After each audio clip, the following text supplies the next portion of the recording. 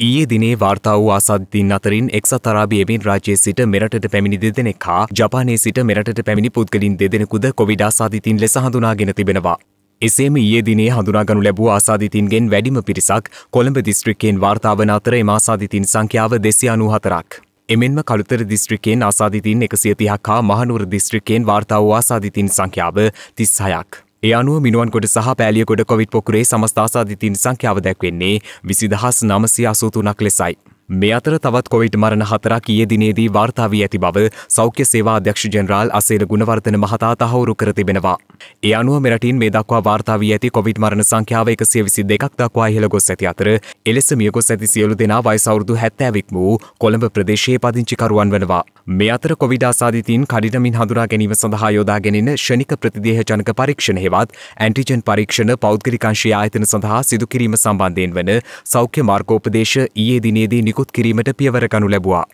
ඒ අනුව පෞද්ගලිකංශයේ ආයතනවල ඉල්ලීම පරිදි පෞද්ගලිකංශයේ රෝහල්වලටද ෂණික ප්‍රතිදේහ ජනක පරීක්ෂණ එම මාර්කෝපදේශ යටතේ සිදු කිරීමටයි අවසර ලබා දී ඇත්තේ. පෞද්ගලිකංශයේ ආයතන සඳහා මෙම පරීක්ෂණ සිදු කිරීම සම්බන්ධයෙන් වූ මාර්කෝපදේශ මාලාවට අනුව පෞද්ගලික ආයතනයකට සේවකී නැතුල්වීමේදී දෛනිකව සිදු කරන පරීක්ෂණවලදී කොවිඩ් ආසාධිතයකු බවට සැකසහිත රෝගලක්ෂණ ඇති අයෙකු වේ නම් ෂණික ප්‍රතිදේහ ජනක පරීක්ෂාවට යොමු කළ යුතු බව එහිදී මූලිකව පෙන්වා දී තිබෙනවා. එමෙන්ම පරීක්ෂාවට යොමු කරන පුද්ගලින්ගේ තොරතුරු සහ පරීක්ෂණ ප්‍රතිඵල සෞඛ්‍ය අමාත්‍යංශයේ වසංකත රෝග විද්‍යායකයට දිස්ත්‍රික් වසංකත රෝග වේදියාට සහ ප්‍රාදේශීය සෞඛ්‍ය වෛද්‍ය නිලධාරීවරයාට යොමු කළ යුතු බවයි එම මාර්ගෝපදේශවල සඳහන් වන්නේ. යම් කර්මාන්ත ශාලාවක් කොවිඩ් අධි අවදානම් කලාපයක පිහිටා ඇත්නම් එහි සේවක පිරිසෙන් සියයට දහයක් දක්වා පිරිසකට ෂණික ප්‍රතිදේහ ජනක පරීක්ෂා සිදු කළ හැකි. එමෙන්ම ආයෝජන මණ්ඩල සහ අපනයන සංවර්ධන මණ්ඩලය යටතේ පවතින කර්මාන්ත ශාලාවල සෞඛ්‍ය මාර්ගෝපදේශ මත PCR පරීක්ෂණ සිදු කළ යුතු බවයි එම මාර්ගෝපදේශවල දැක්වෙන්නේ. මේ අතර ශ්‍රනික ප්‍රතිදේහ ජනක පරීක්ෂා කිරීම සඳහා පෞද්ගලික රෝහල් වෙත අවසර ලබාදීම සම්බන්ධයෙන් වසංකත රෝග විද්‍යායකගේ ප්‍රධාන වසංකත රෝග විද්‍යාඥ වෛද්‍ය සුදත් සමරවීර මහතා අදහස් පළ කළා. පෞද්ගලික රෝහලට පැමිණෙන කෙනෙකුට සාමාන්‍ය විදියට අපි අපේ රුධිරයේ සීනි තියෙනවද කියලා බලන්න බ්ලඩ් ෂුගර් එකක් කරනවා වගේ සාමාන්‍යයෙන් මේ තමා කොවිඩ් 19 ආසාදිතයේද කියලා දැන ගැනීම සඳහා මේ පරීක්ෂා සිදු කිරීම සඳහා අනුමැතියක් ලබා දීලා නැහැ. ඒකට හේතුව තමයි මේ පරීක්ෂණය ඒ වගේ අවස්ථාවලට සුදුසු පරීක්ෂණයක් නොවන නිසා. යම්කිසි තැනැත්තෙකුගේ ඒ වගේ අවස්ථාවකදී තමන්ට රෝගය වැළඳී ඇතැයිද බලා ගන්න අවශ්‍ය නම් ඒ සඳහා අවශ්‍ය වන්නේ PCR පරීක්ෂණයක්. ඒ විදිහට පෞද්ගලික අංශයට යම්කිසි සීමා සීමාවක් ඇතුවට මේ පාවිච්චි කිරීමට මේ අවස්ථාවේදී රජ්‍ය විසින් අවසරය ලබා දීලා තියෙනවා. මේ වන විට හුදකලා තත්වයට පත්කර තිබෙන බණ්ඩාරගම අටළු ගම ප්‍රදේශයේ හයිසිය දෙනෙකුට ෂණික ප්‍රතිදේහ ජනක සහ PCR පරීක්ෂණවලට ඊයේ දිනේදී යොමු කිරීමට සෞඛ්‍යංශ පියවරගෙන තිබෙනවා. ඒ අනුව සිදු කළ තුන්සිය පනස් දෙනෙකුගේ ෂණික ප්‍රතිදේහ ජනක පරීක්ෂාවලින් හතරිස් දෙනෙකු කොවිඩ ආසාධිතීන් බවට හඳුනාගෙන ඇති බවයි කළුතර දිස්ත්‍රික් පරිපාලන මහජන සෞඛ්‍ය පරීක්ෂක සමන් ගීගනගේ මහතා සඳහන් කළේ.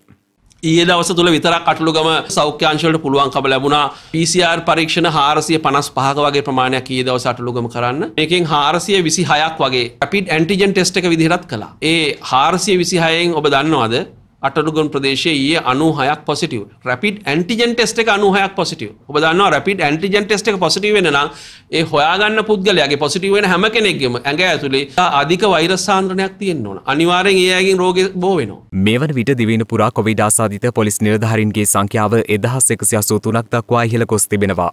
පොලිස් මාධ්‍ය ප්‍රකාශක නියෝජ පොලිස්පති අජිත් රෝහණ මහතා සඳහන් කළේ මේ වන විට පොලිස් කොවිඩ් පොකුර නිවී යමින් පවතින බවයි. පොලිස් ආසාධිතයින්ගේ සංඛ්‍යාව මේ වන විට එත්තාස් එකසිය අසු තුනක් දක්වා ඉහළ ගොස් තිබෙනවා. කෙසේ වෙතත් ආසාධිතයින් නිරෝධායන කඳවුරුවෙන් පමණයි වාර්තා වෙන්නේ. පොලිස් පොකුර නිවී යමින් පවතින ස්වභාවයක් තමයි රීක්ෂණය වෙන්නේ.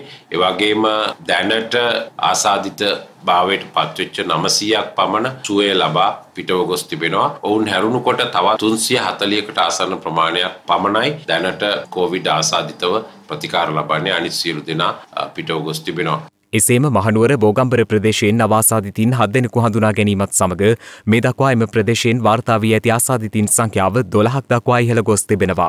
මේ සම්බන්ධයෙන් මහනුවර නාගරික කොමසාරිස් අමිල නවරත්න මහතා සඳහන් කළේ එම තත්ත්වය මත මහනුවර මහනගර සභාවට අයත් බෝගම්බර කලාප කාර්යාලය තාවකාලික වසා දැමීමට තීරණය කළ බවයි. මේ අතර භගවන්තලාව බොගවාන ලින්ස්ටඩ් වතුයායේ එකම් පවුලේ පස් දෙනෙකු ඇතුළු හය දෙනෙකුට කොවිඩ් වෛරසය ආසාදනය වී ඇති බවට තහවුරු වී තිබෙනවා. ඔවුන් සියලු දෙනාම බඹල පිටියේ සිට වතුකරයට පැමිණි මුල් ආසාධිතයෙකුගේ ආශ්‍රිතින් බවයි භගවන්තලාව මහජන සෞඛ්‍ය පරීක්ෂකවරයා සඳහන් කළේ.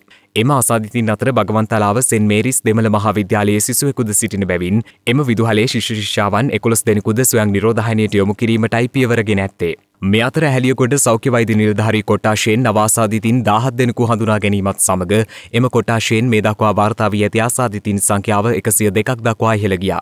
ඒ අතරින් බහුතරයක් දෙවරුම් පිටිය ඇඟලුම් ආයතනයේ සේවක සේවිකාවන් සහ ඔවුන්ගේ ආශ්‍රිතින් වනවා. එසේ මේ මැඟලුම් ආයතනයේ PCR පරීක්ෂණ වාර්තා පන්සියක් පමණ ලැබීමට නියමිත බවද සෞඛ්‍යංශ සඳහන් කරනවා. මෙවැනි වැදගත් පුවත් නැරඹීම සඳහා ශ්‍රද්ධා TV නිවස් YouTube චැනලය සබස්ක්‍රයිබ් කර සීනුව සලකුණ වන්න.